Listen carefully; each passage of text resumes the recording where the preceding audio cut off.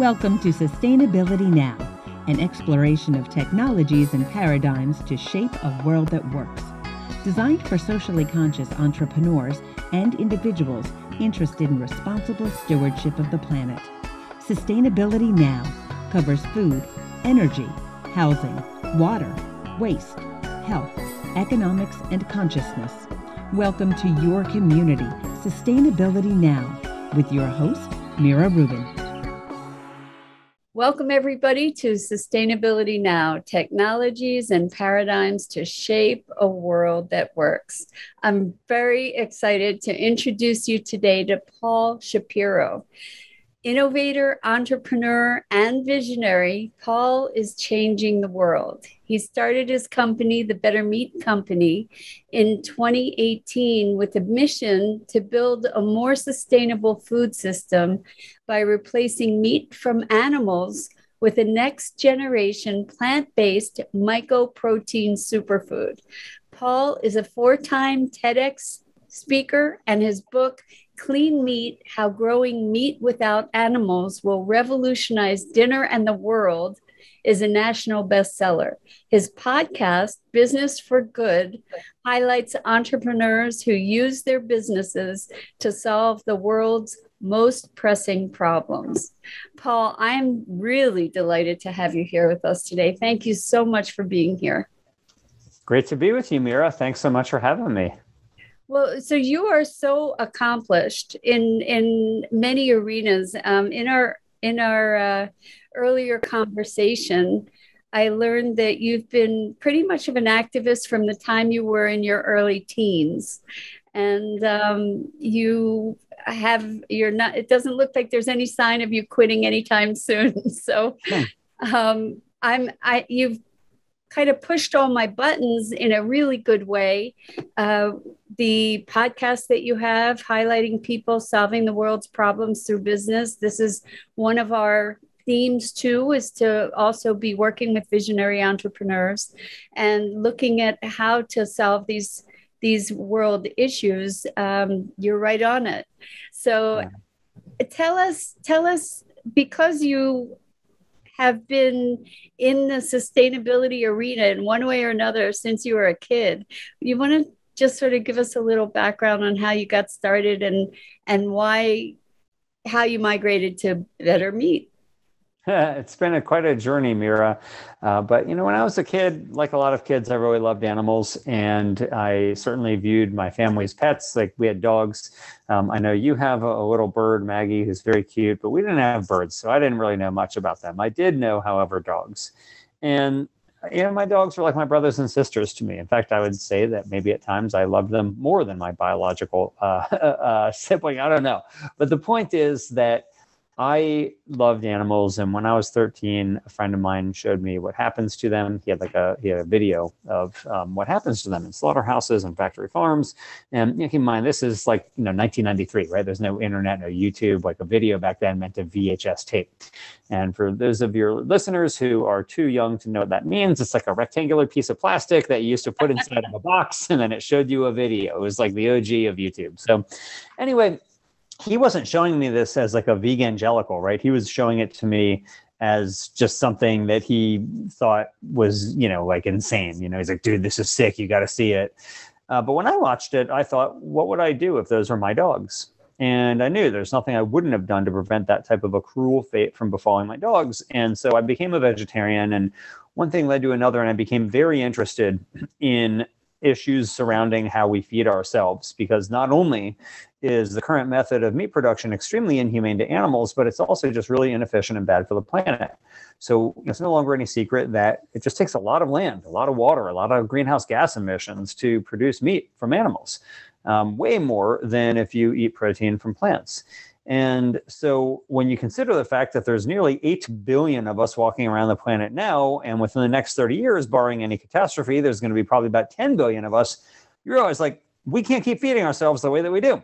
Um, it's just not going to work. We don't have any other celestial bodies to farm. We're not going to be farming the moon. We're not going to be farming Mars. We have one planet, and the planet is just it's not getting any bigger. Humanity's footprint on the planet is getting a lot bigger, but the planet itself is not getting any bigger at all. And a huge part of that footprint is our food print, principally in the amount of meat that we eat. So I became very concerned about this. And for a long time, Mira, I believed that facts would be sufficient, that merely telling people these types of facts would actually change their behavior. But then I uh, later learned that actually facts are not what change people's behavior for the most part normally people change for uh, for many other reasons but facts are facts and evidence are generally not them and I, I came to believe that food technology was the answer in, in or was an answer, not the only answer, but an answer to this problem. And so in the same way, you know, if you think about, I don't know, let's say clean energy, like some people think let's just get people not to drive, right? Just make people walk and bike, and that'll be great. That's kind of like saying to people, well, just become vegan, you know, like just stop eating meat and, and eggs and dairy. And I think it's awesome for people not to drive. I think it's awesome for people not to eat meat. Um, but most people aren't going to do that, sadly. I, I wish that we were different, but most people aren't going to do it. And so that's why you need electric cars. That's why you need solar panels. That's why you need clean energy. And that's also why we need cleaner types of meat. And so I wrote this book, Clean Meat how Growing Meat Without Animals Will Revolutionize Dinner in the World, that explores the investors, the entrepreneurs, the scientists who are all racing to commercialize the world's first slaughter free meat. So, in the same way that we can have a car that doesn't rely necessarily on fossil fuels because it's electric, and you, if you're getting your power from renewable sources, then you can have a, you know, get yourself off of fossil fuels that way. We can still enjoy the meat like experience but without needing to raise and slaughter animals. And so that's what I've devoted my life to, both chronicling the work of the people doing this, and in the last few years, becoming one of the people who's doing this by starting my own company, The Better Meat Co. in this space. So that's a mouthful. that is yeah. awesome. And you used a term I've never heard before, vegangelical. Oh, uh, yeah. Term. Did you coin that phrase? No, I have used it many times, but it is almost synonymous with vegan because most vegans I've learned are vegangelicals also. Um, and, uh, you know, I understand why. I have to ask you, are you vegan? Yeah, I became vegan at the same time that I became vegetarian. Um, I'm married to a vegan cookbook author. So uh, I wish that more people would see the world that I do uh, in the way that I do. Um, sadly, I've learned that they don't. and uh, so we got to play the cards as they're dealt. And uh, I think, you know, I think of people will be happy to eat less meat, but uh, overall, I think we, you know, in the same way that, you know, when you flick a light switch, you just want light, right? You, you just want the experience of an illuminated room. You're not thinking about whether it's coming from renewables or fossil fuels. Similarly, when you eat meat, most people aren't thinking, oh, did this come from a slaughtered animal? Did this come from uh, something else? Like they're not thinking about that. They're just want that experience that satisfies like their meat tooth, so to speak. And I think that we can provide that without needing to raise and slaughter animals. I, am with you there.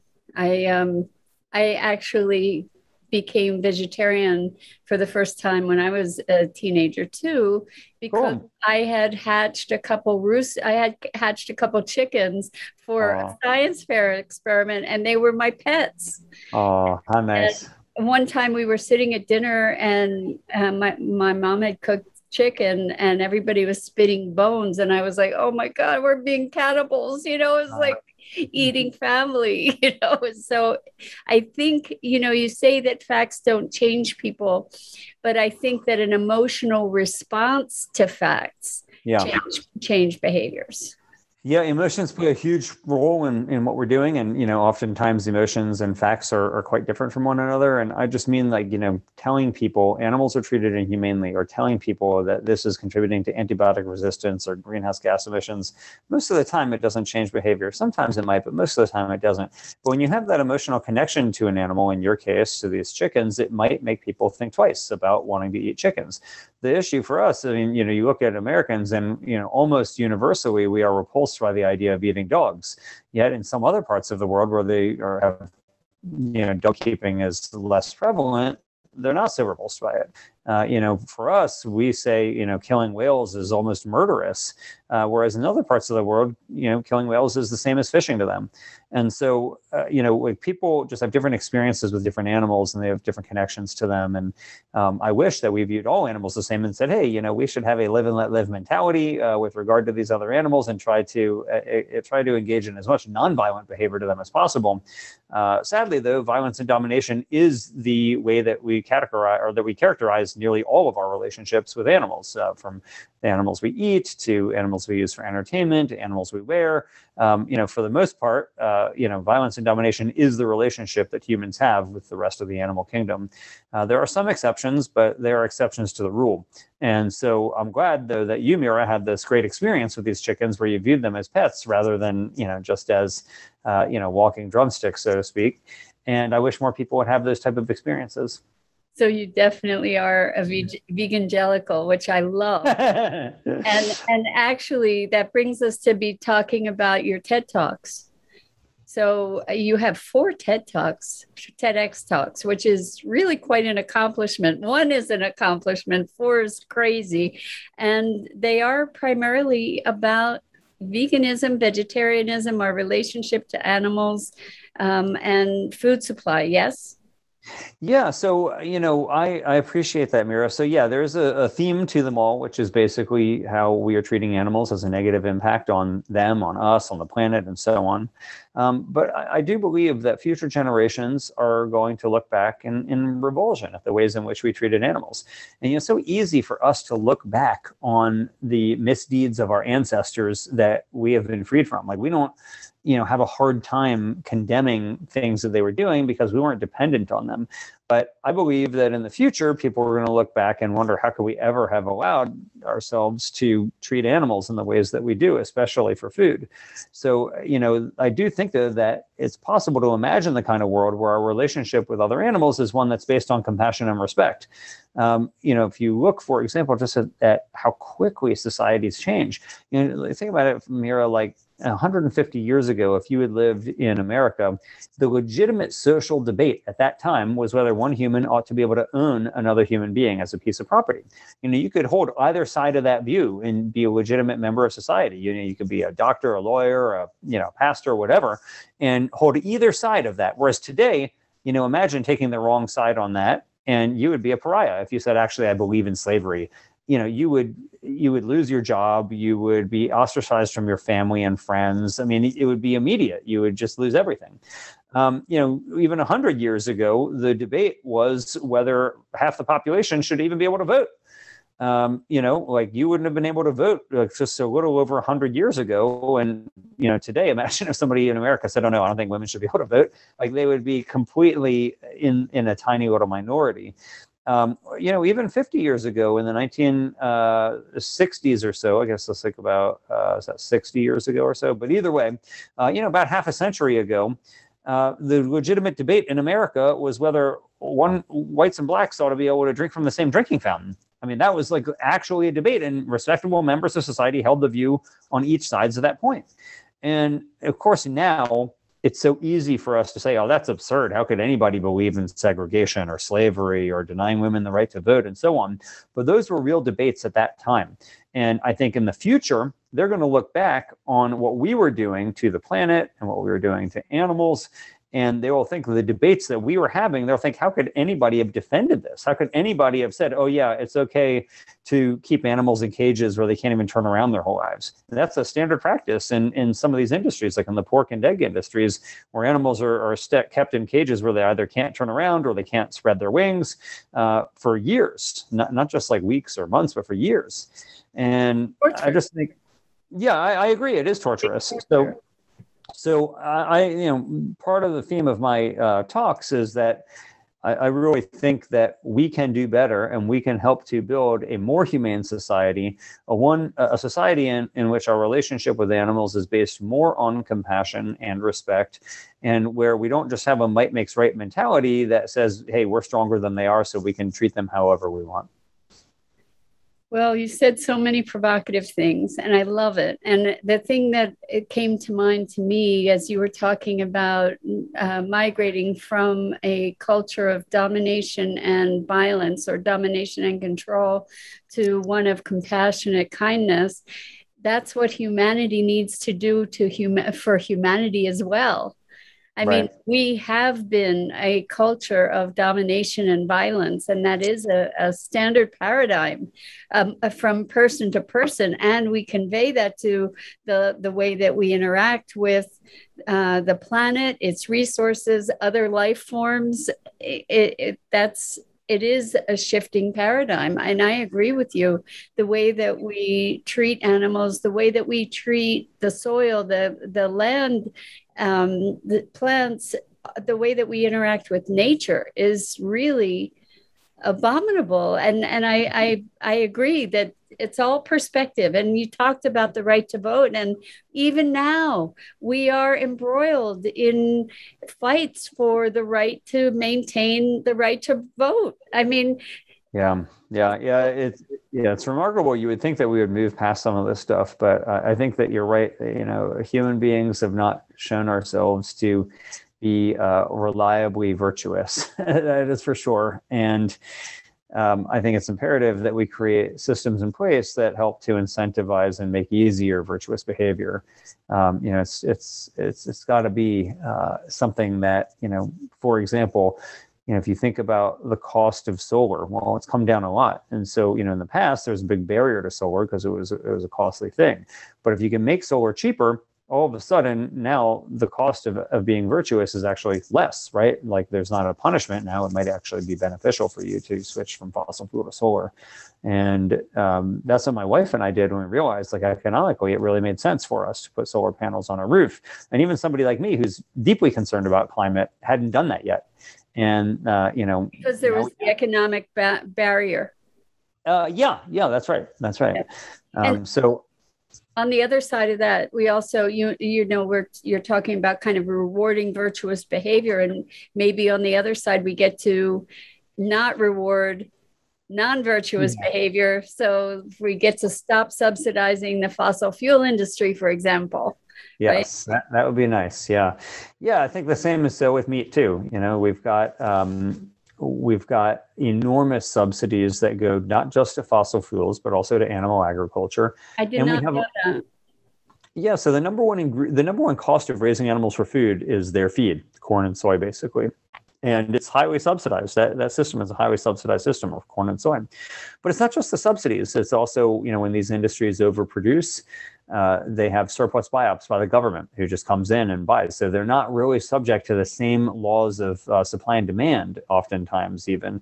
Uh, most of the time, if you don't have enough buyers for your product, uh, you know you you end up contracting. Uh, however, the meat, egg, and dairy industries typically get the USDA to buy up surplus products of theirs for hundreds of millions of dollars, and you know dump it into the school lunch system or the federal prison system or other places where the federal government uses um, uh, uses animal products. So it's uh, you know there's that, and then there's also uh, lots of other supports in the form of R and D research subsidies. There's all types of other things, and then there's unpaid costs altogether, like environmental damage, public health consequences that don't get paid uh, by companies monocropping, yeah, so, um, pesticides. Mm-hmm. Yeah. So, uh, you know, like, you know, bottom line though, like if you want to farm less land, if we want to take more land out of agriculture and put it back into the wild, we got to stop raising animals or at least reduce our reliance on animals because they take up huge amounts of land, not just the land they're standing on, but the land that we have to grow all that feed for them for. Um, so that is uh, one of the key reasons why I think it's so imperative to develop ways to deliver the meat experience to people without having to raise and slaughter animals. Beautiful. I, I agree with you a thousand percent. And that is a perfect segue into better meat. So, how did you actually get into starting that company? And then I want to talk about what exactly it is. So, sure.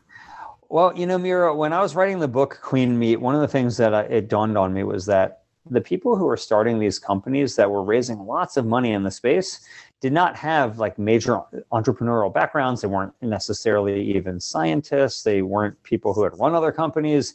They're just people who want to make a difference. And here they were succeeding, raising you know lots of money. from investors. And I, you know, I thought, well, what can I do to contribute to the space? And I was like, well, I'm not a scientist and I don't know anything about business. So uh, the best I could do was write a book. But as I was writing the book, it dawned on me like these people have just as much reason to start a company as I do. Uh, so after the book came out, I did contemplate doing another book on the topic. Uh, but then I decided that rather than writing about the people who I thought would save the world, I would just become one of them myself. And I decided to start the Better Meat Co., which is an ingredients company that uses fermentation to produce next generation mycoproteins. So if you think about like how right now plant-based meat is either made from wheat, pea, or soy, these are plants. Well, we you know, if you think about like you've got animals and you got plants, and they're pretty far apart on the evolutionary tree. They're very different from one another. So you got to do a lot to get plants to taste like an animal's flesh. You have to uh, mill it, isolate it, fractionate it, uh, extrude it. There's all these processing steps that you need to do to get that, let's say, pea to taste like meat because anybody who's eaten peas knows that they don't have the texture or taste of meat. So you can do that. Lots of cool companies are um, making plants and turning them into things that look like animal meat. However, there's an entirely other kingdom. It's not just plants and animals. You've got fungi also.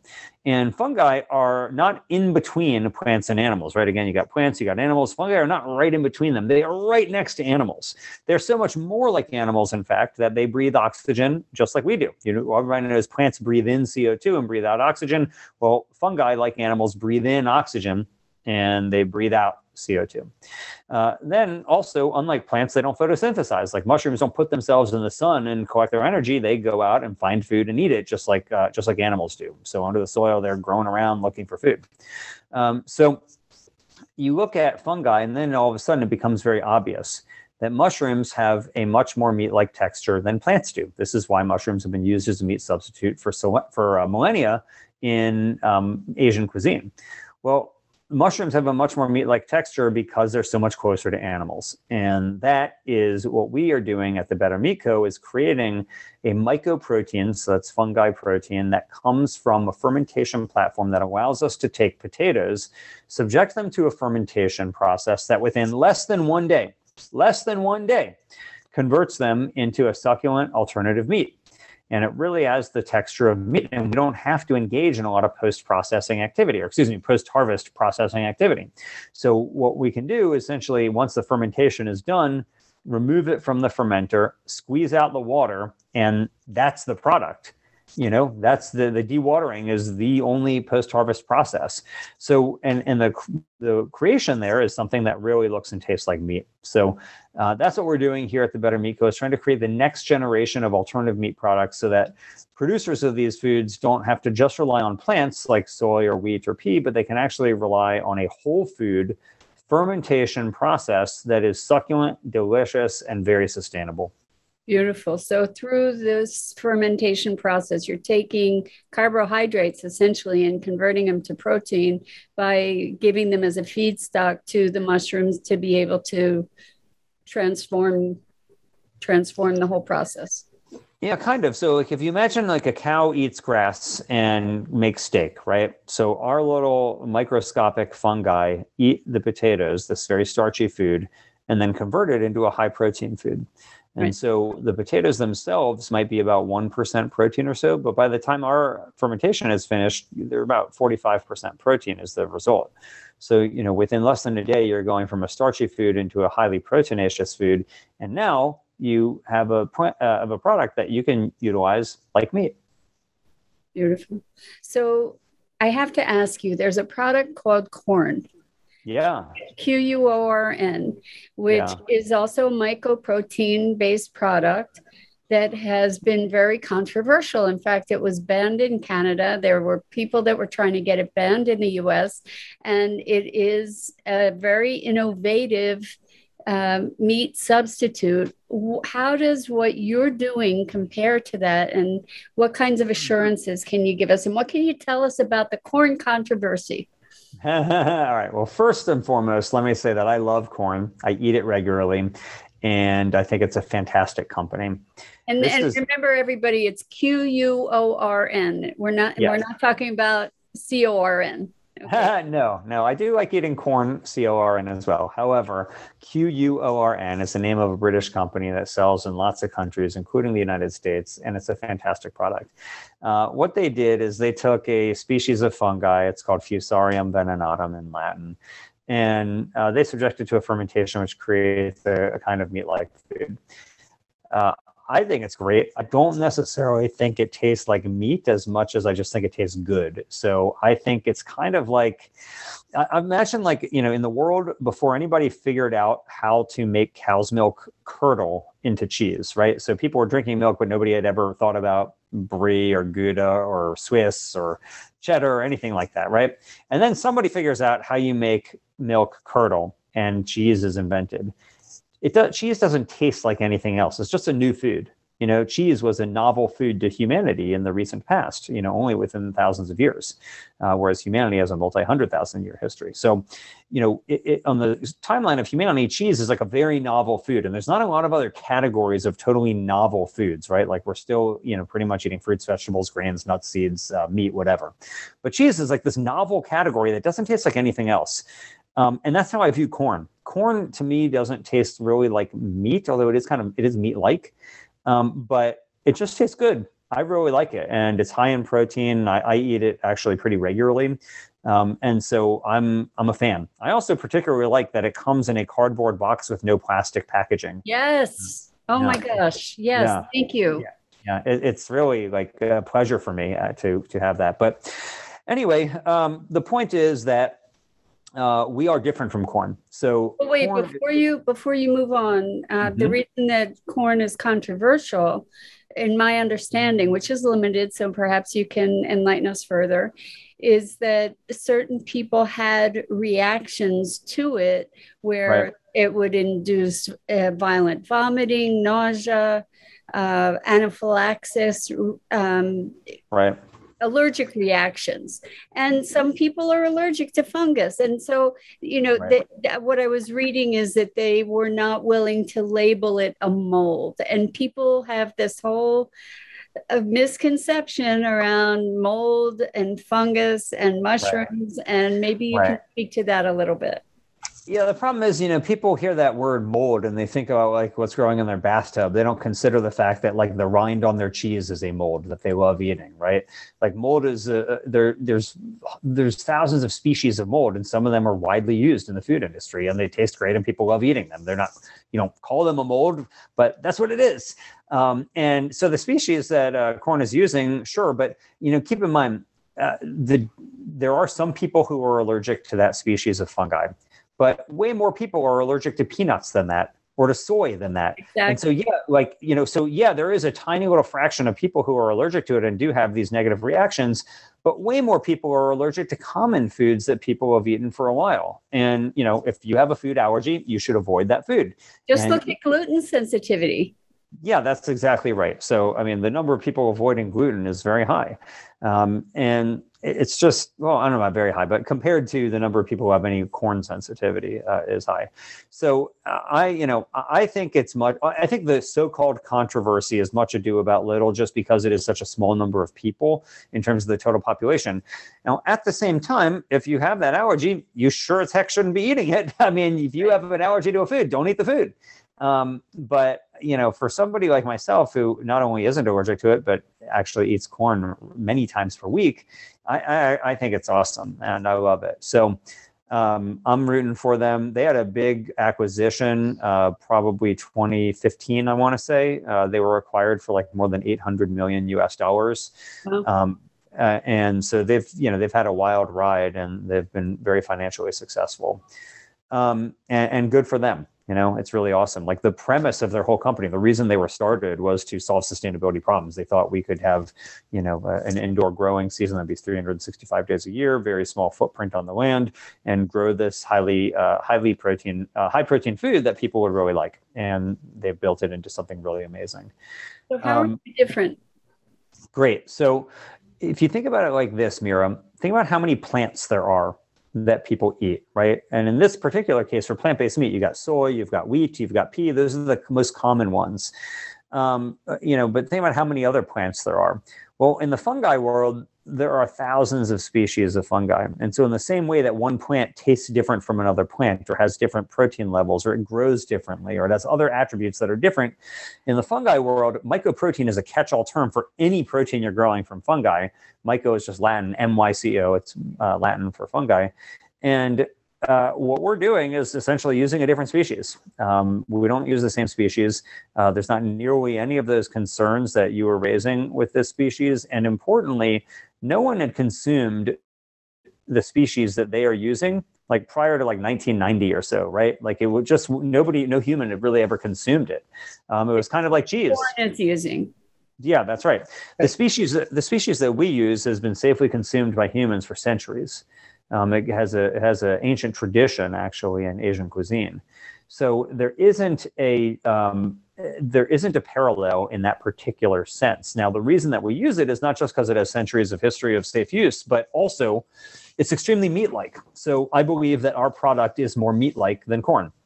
Um, I think that we make products that people have a really hard time telling the difference between it and meat. And you know, we served our mycoprotein, which we call Rhiza, that's R-H-I-Z-A. We served it at a local steakhouse here in Sacramento, California, where we're based. And the owner of the steakhouse said, "This is the best uh, alternative meat I've ever had." And so I am uh, I am convinced that you know we are just in a wild west when it comes to fungi protein right now because nearly no research has been done cataloging the thousands of species that you can subject to fermentations and create meat-like products with. So you know, sure we all know about like white button mushrooms or shiitake, but there's a vast field of fungi out there that has never been studied that don't even produce mushrooms at all. In fact, 90% of fungi species do not produce mushrooms. So the mushroom is like the is like the fruit of the fungi, right? So they, you know, the mushroom is is like the apple on the tree.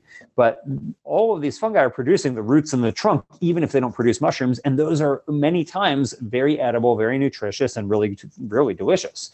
Uh, so that's how we're different. We're just, you know, just in the same way that you know one company might use one crop and the other uses a different crop. We're using a different species, and uh, we really like it. So you said that you shared this with the restaurant in Sacramento, and now you've teased all of us to to who are interested in alternative meat um, meat products. How do we get what you're creating? How do we get your product? Well, we're bringing it out, Mira. So uh, I, I don't, you know, I don't know when our episode will air, but on August 21st, um, which is probably, um, I imagine your episode will air after that. But on August 21st, um, 2021, that, folks. Yeah, thank you. Thank you. Very good point. Very good point. So 821, 21, we are going to have an, a steakhouse called Bennett's American Grill will be serving steaks made from our Rhiza mycoprotein. So that'll be, um, you know, really great experiment to see how it goes. And I think that people will really like it. We'll take the feedback and learn how people are enjoying it and get, you know, get continual improvement. The benefit for what we're doing is that, you know, cows are just not going to get any better, right? Like a cow today is not that different from a cow 10 or 20 years ago. Whereas our product can continually evolve because we can rapidly iterate on it using different ingredients, different styles of fermentation, and so on to continue making the product better and better. And so that will be uh, test number one, and then we'll be rolling it out further and wider after that. Now, um, my understanding is that you've set up your company as a B2B company. So you're not going to be creating a retail product such as Quorn that we would be able to buy directly. Is that true? That's right. Our plan is to be a B2B ingredients provider to other companies. So we sell ingredients to other companies who put it into their products and then they go market it and formulate it and, and all that. So imagine like, you know, if you think about like the gold rush, most people who rushed for gold didn't make any money, but the people who sold them the shovels and the pickaxes, they did make money. And that's what we're going for as well. There are hundreds of startups in the alternative protein space right now. Most of them will not survive. And we are essentially going to be a provider to a lot of these companies and to big food companies too, to ensure that we have a unique ingredient that uh, lots of people will want to utilize. Something that I thought was so interesting that you told me is that a number of existing meat companies are going to be your customers as well, and they'll be using your product, the Rhiza, to supplement or augment the meat that they're producing to blend it together. How does that work? Sure. So if you think about it, like actually think about this, like right now at Burger King, they have the Impossible Whopper. It's awesome. It's really historic that they have a plant-based burger at Burger King. Um, and so I'm enthusiastic about that. But the the Impossible Whopper, according to news reports, at most is about two percent of the burger sales there, at most. And imagine though, if in addition to serving the Impossible Whopper, Burger King also took its conventional Whopper and made it 50% plant-based. So now instead of a 2% reduction in, in beef consumption, you're getting a 50% reduction because the default product has less meat in it.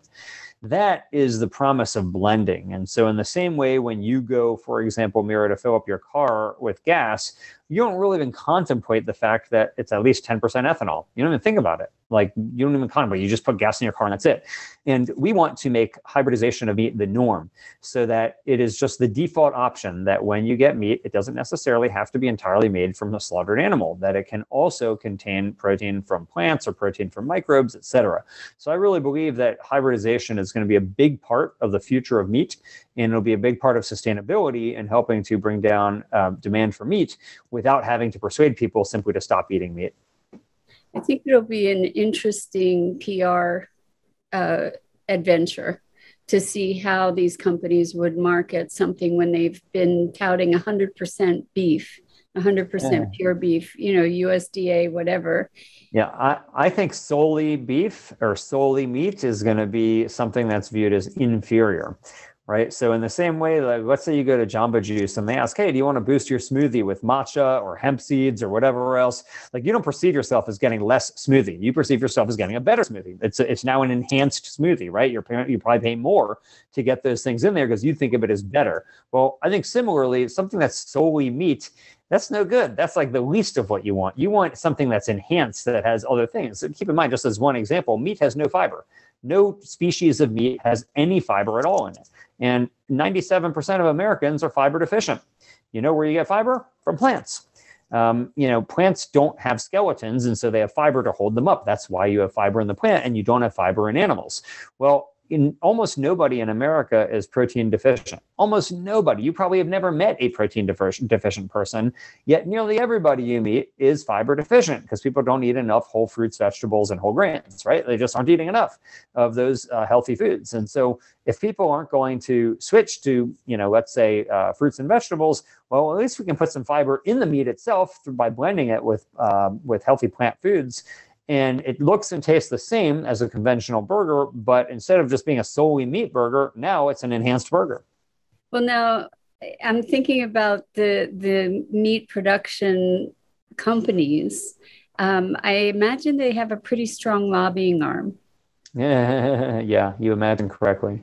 Yeah, so I don't imagine that they'd be so thrilled with the enhanced meat idea. And, and it's interesting, you know, like in making these changes from fossil fuel, for instance, to alternative energy fuel and, and from uh, meat to more plant based food, I think that one of the things that we're confronting is the political machine that is working so hard to keep things in place for these companies that are so deeply entrenched and and powerful uh, economically and politically. What what are you imagining around that, or what are you aware of around that? This is one of the reasons, Mira, that I think that these meat companies need to become part of a solution now rather than digging their feet in the sand. So, you know, think about it like this. So, if you go back, um, you know, to the 1990s, all there was like this big war between Kodak and Canon. They were vying for supremacy in the film market. And digital film comes around, and Kodak is concerned that it's going to cannibalize their core business, so they don't pursue it.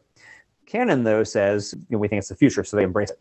And we know what happened in the end. So Kodak goes bankrupt, and Canon is now the largest manufacturer of digital cameras on the planet. And yes, there are some meat companies that are like the Kodaks out there, but there are a lot of them that are like the Canon. And they realize that the future of protein is not going to be just slaughtered animals, that it is also going to entail all these more sustainable, more humane types of protein. And they want to be a part of that future of a more diverse portfolio of protein out there. And so it's really imperative, I think, that we get these meat companies on board and have them diversify their own offerings so they aren't so wedded to fighting. Uh, you know, if they are at threat, then they will fight. But if they have an opportunity to actually make some money here by using fewer animals, that's great. So, you know, for so long, it's been profitable to damage the, the, the planet. What if we can make it profitable to do less harm to the planet? That would be really amazing. Uh, so I, I want to see the meat companies getting involved in the plant-based and other alternative protein spaces because I think that uh, for a variety of reasons, one of which is that they won't fight so hard against this future. So it's the same strategy for fossil fuel companies is to be getting them involved in producing alternative energies. They already have the money, they already have the motivation, and it's it the writing's on the wall. So yeah, right. Yeah, yeah. Adapt. Yeah, you got to make sure that it's real, that it's not just lip service.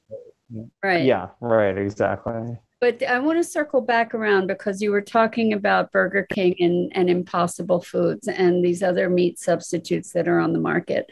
Um, it is possible to buy Beyond Meat. Um, and I know that there's a comparison between Beyond Meat and Impossible Foods.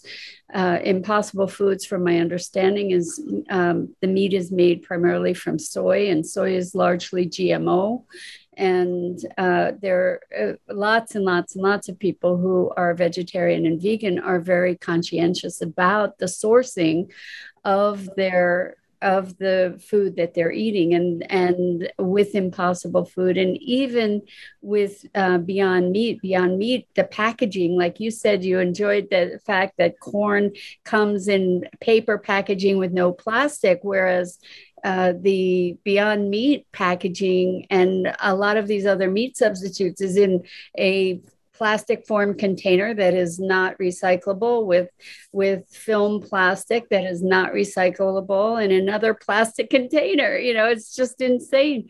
It's insane to me that companies that are doing something where their market is so largely uh, conscientious or aware of of um, the, our impact on the planet would be packaging this alternative product in in unrecyclable planet damaging packaging. It just makes no sense to me. So yeah. I, I, can't speak to that. I don't know what the what the story is with that. Um, but uh, you know i look at hamburger so you know if you buy their like the, a pound of let's say like beyond beef right that's not the case it does come in a, a plastic wrapper but it's not all the plastic that you were just talking about okay. when you buy when you buy preformed patties then it does come in like a hard plastic shell to maintain the shape right. of that patty and that's a concern. However, their sausage, uh, the Beyond sausage, I've noticed, is basically looks like a, a compostable type of uh, thing with a little, like almost like Saran wrap type packaging over it.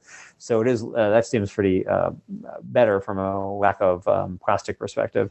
But yeah, I mean, look, you know, there's no doubt that just eating whole foods like whole fruits and vegetables and grains uh, is better for us and the planet than eating processed foods. However, you know, I, I would be thrilled to eat, you know, bean and brown rice burritos and lentil soup and hummus. I love those foods, but I think a lot of people want meat. You know, I hate to say it. I wish it weren't true, but I think a lot of people just want meat and we got to provide it to them somehow. So I don't know how to get around this issue. I share your concern about it. Again, it's one of the reasons why I like Quorn, although I also like it because I think it's a great tasting product. Um, but I share your concern on this, and and probably the answer is in creating plastics that either will biodegrade um, or have some other you know environmental benefit. You know um, for my podcast the business for good podcast i recently interviewed um, a company called Radical Plastics that has basically invented a way where you can make plastic the same way you make it today, but less than 1% of the plastic has this mineral compound that they put in there. So at the point of manufacture, that actually renders it biodegradable. So you don't need to switch entirely, let's say, to like, you know, PLA or something, but rather just make plastic the way you do, but you put a little tiny amount of this mineral in there and it actually renders it something that uh, soil microbes can see as food, and so then they eat it and it degrades. So that might be one answer to that, um, but I think it'll require you know interesting technologies to solve the plastic problem, which is an enormous problem. Well, thank you. So I also want to find out back to the comparison of Impossible Foods to Beyond Meat to um, to Better Meat Co. Are you are you certified as organic? Sure. So, uh, to answer your question earlier about us, we don't use genetically modified organisms. We do a, a natural fermentation with a natural uh, species of fungi that um, you know, grows into a, a meat like product, which is great.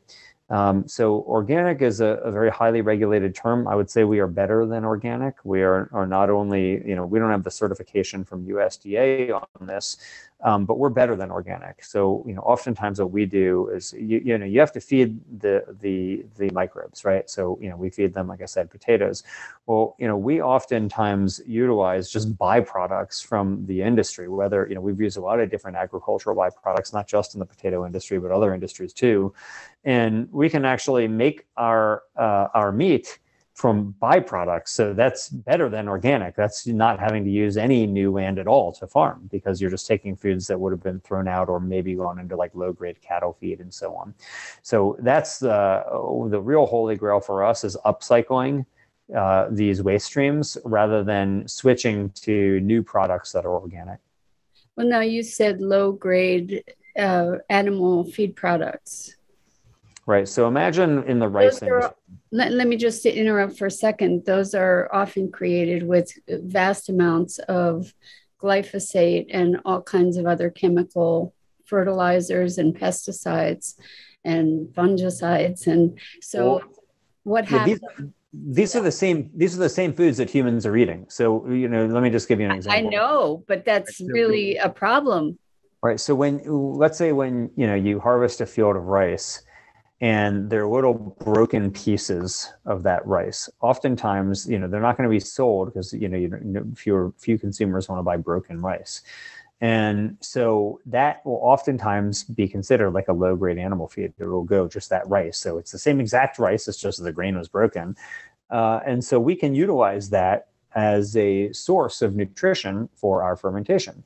Similarly, with potatoes, when potatoes are too small, um, or when there are uh, you know miscuts for the French fries, or if there are defects in the potatoes, uh, they're not going to make it to you know let's say um, you know a fast food restaurant's uh, French fry uh, uh, stream. But they still have some nutrition, and that all gets sold to like you know either it gets landfilled or it gets sold you know for very cheap to um, animal feed, and we can utilize that. So what we're doing is taking food that has already been grown and that would be either thrown out or used as animal feed and subjecting it to a fermentation that makes a really high quality product. So, you know, that's better than growing anything new for us for sure. Like upcycling is better for the planet because we're not requiring any new land to be farmed.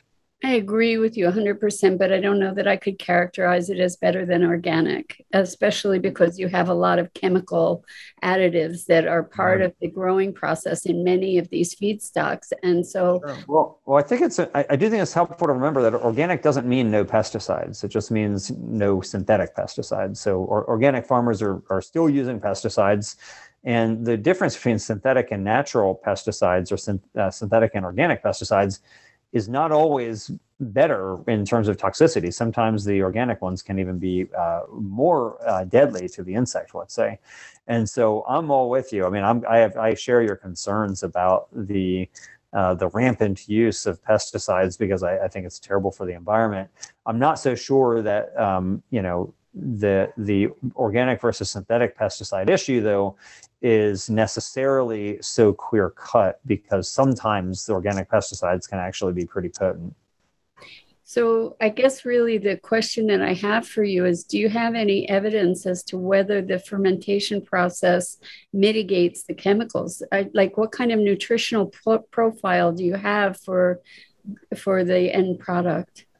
That's a great question, Mira. So we have ample nutritional information showing that the product is higher in protein than eggs, it's higher in iron than beef, it naturally contains vitamin B12, it's super high in fiber, in fact, more fiber than oats. Um, and it really does a great job of converting one thing to another. Like that's what fermentation does: is you're converting one thing to another, and it does a great job of of doing that and making a product that really is succulent and meat-like. And um, it, I don't make the case that it is a panacea to all of the woes of our current agribusiness system. I do make the case that compared to eating meat from animals, that it is a dramatically better product. So, have you done any kind of testing to identify chemical residues, for instance, from pesticides and we, we have yeah we have done a number of tests to look at things like uh, you know whether it be lead or arsenic or other types of problems that you can have. Um, and we've always been within uh, uh, safe limits for sure. Um, but I, I will say you know uh, there are some crops like for example brown rice uh, which is brown rice, um, even organic brown rice that happens to be grown in certain parts of the country, like Arkansas and, and other parts of the South, where they used to use a lot of arsenic containing pesticides on that land. Um, you know, rice is really good at taking up uh, arsenic. And so even just eating brown rice on its own actually has pretty high levels of arsenic, and there's no limits on how much arsenic can be in your food we have limits on how much arsenic can be in water, but there's no limits on how much can be in food because it uptakes it from the soil. And so, anyway, like even something like organic brown rice, which you would think is like this really healthy natural food, it could actually have dangerously high levels of arsenic at some times, if it's just depending. Now, I'm not saying all brown rice is that way, but you can have that problem. So, you know, the tests that we've done have shown that we're always within the safe limits on on these issues. Um, but depending on where crops are grown, you never know like what's in the soil, and so you have to be vigilant and continually test. I guess one of the reason what I'm really trying to get to is what what transformation is occurring in the chemical cons- uh, makeup of your feedstock as it's converted to the rhiza because yeah. I know that mushrooms have a great capacity to do remediation. They do. Yeah, it's amazing, and, actually it's miraculous because um, Paul Stamets has, uh, I'm sure you're quite familiar with Paul Stamets, but he's researched so many different arenas uh, related to mushrooms and what their capacities are. And they have been used to remediate radioactivity, to uh, remediate toxic spills, all kinds of um, amazing things. And I'm wondering in this fermentation process, are you aware of transformation of any of these toxic chemicals that might then no longer be in the final product? It's a great question, Mira. I don't know the answer to it. I don't think that we have actually um, studied that particular issue in depth, but you raising it with me now makes me want to study it. So you can bet that we will be looking into it. That's exciting. I'm glad you will. And, and I, I love that you're blazing trails. And I also really love that you have the podcast um, and I and before we wrap up, I, I want to ask you, what is the most mind blowing business that you have encountered for your podcast uh, for somebody really making a profound difference in the world? Well, I don't want to. I've done like uh, about 75 or so episodes, so I don't want to just pick one who's the most mind blowing, but I'll pick one that I'm actually particularly fascinated by, which is, you know, you have this problem of nuclear storage that you know nuclear is a type of energy that does not generate greenhouse gas emissions but you have this really serious problem that you've all this like you know highly uh, dangerous uh, material that is going to be dangerous for millennia. And what do you do with it? And so uh, there's this one uh, company called deep isolation and they have figured out a way to essentially uh, safely store deep underground nuclear waste. And you know, even if we didn't do any more nuclear uh, power right now, we still have massive amounts of nuclear waste in hundreds of locations all around the world that has to be safely disposed of. So even if you don't like nuclear power, um, which is a separate matter altogether, but even if you don't like it, we need to do something with all this nuclear waste that's just sitting around. And so uh, one of the issues is that um, it's against federal law in the United States to for any private company to uh, permanently dispose of nuclear waste. So the question is how do you then, if you can't permanently dispose of nuclear waste, how can you then dispose of it in a way that's safe that makes it retrievable so it's not permanent, right? And this company has pioneered a method of storing it deep underground where you can still retrieve it and that would mean that you know you can retrieve it should we ever want should we ever in the future figure out ways to actually do something with it, like remediate it or maybe mine it for other new materials that are in there or something like that. And so I thought that was so cool that they're trying to solve this problem and they figured out a way around the federal law uh, to legally dispose of nuclear waste in a way that is both safe and advantageous for the future. Brilliant, brilliant. So, how can people find? I know that you have multiple websites, so I'm going to give you an opportunity to do some shameless plugs, and we'll make for for all your uh, properties on our website. So go That's for right. it. That's very nice of you, Mira. So if you're interested in the Better Meat Co., just visit us at bettermeat.co. Again, that's bettermeat.co. And if you're interested in my book, Clean Meat, you can just go to the website cleanmeat.com. Again, that's cleanmeat.com. And I'd love to hear from you. If you're interested in joining us, or if you're interested in supporting us, or if you're interested in working together in some way to make the world a better place, I want to hear from you. So you can get in touch with me via any, either of those websites, and I look forward to hearing from you. And also your podcast. We want to plug that too. Oh, thank you, Mary. Yeah, so businessforgoodpodcast.com. Again, that's businessforgoodpodcast.com. And check out these episodes. You can learn about really inspirational companies doing things to make the world a better place. Beautiful. And so, what should I have asked you that I didn't ask you, Paul? Uh, you know, Mira, you didn't ask me about my amazing, amazing dog, Eddie. And I'm going to plug him here because if you were to look at a pie chart of the happiness in my life, uh, my wife and dog would be very high on the list, um, but Eddie is particularly uh, welfare enhancing to me. And so, if you like your welfare enhanced and you would enjoy seeing all the photos and videos of Eddie's exploits, he is an Instagram celebrity, and you can visit him at Instagram at Eddie the Pittie. That's E D D I E the P I T T I E. Eddie the Pittie.